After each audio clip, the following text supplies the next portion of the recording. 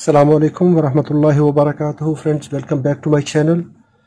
Today we will discuss a reed relay or reed switch. It is electromagnetic switch. It have two contact plates inside and it is encased in one glass capsule. When it will receive electromagnetic field it will contact.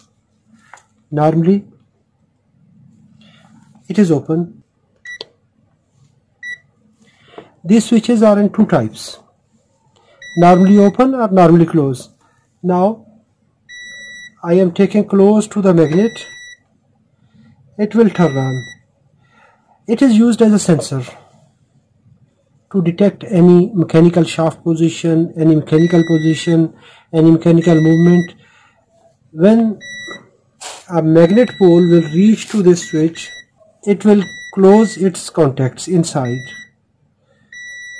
It is available in different current ratings from 1 ampere to 3 ampere, 5 amperes and its use is most of the time for humid places so that the contact will not take corrosion and it will not allow to build carbons and oxides because it is in glass shaped capsule and it is filled with nitrogen gas so it is used in most of the time telephone exchanges, high speed switching matrices and it's also used in uh, pressure switches for water pumps. Uh, it gives a signal because it works as a sensor so it gives a signal to the next circuit to operate the pump.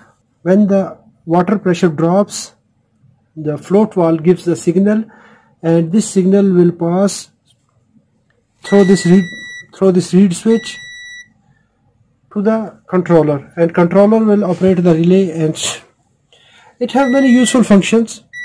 So it is basically used to detect any magnetic position any shaft position any arm position. So we can test it easily.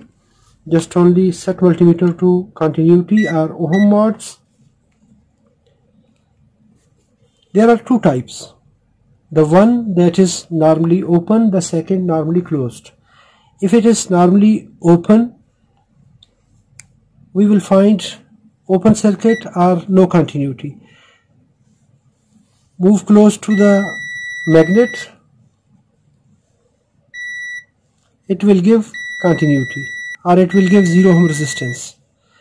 If we have the other type that is normally closed when it will reach near to the magnet that will open. I hope so this video is informative. If it is informative, hit the like button. If you have any question, let me know in the comment box. Thanks for watching.